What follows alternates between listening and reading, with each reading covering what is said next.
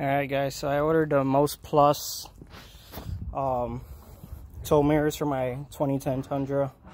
I couldn't I couldn't spend a thousand on tow mirrors. I couldn't. I really wanted to, but I couldn't. So um I got the first one installed. When you hook up the harness, the turn signals work automatically and uh, defrosters. The blind spot does not um, you got to hook up an additional sensor so i have to do some research on that.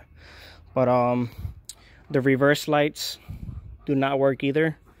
So that's what these pigtails are for. So right now i'm wiring it down uh through the door behind the speaker i mean through this rubber boot and i'm about to finish fishing out with some um, electrical wire. Um i'm gonna tap into the ground right here uh, gray is ground and the white is the positive. So for the positive I'm gonna send them both up into the engine bay and tap into the blue with the red stripe wire.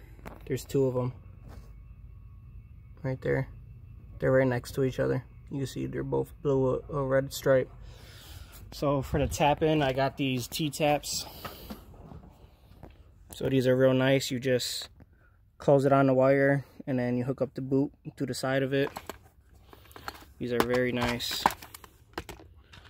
So you go on your wire, clamp it, and then you put your yellow connector right through the side in here.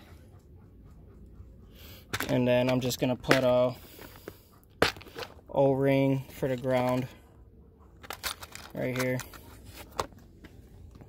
So I'm just gonna tap in right there.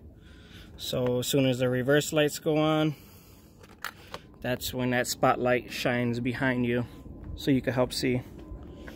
So just wanna do, uh, some people are a little confused on the wiring. So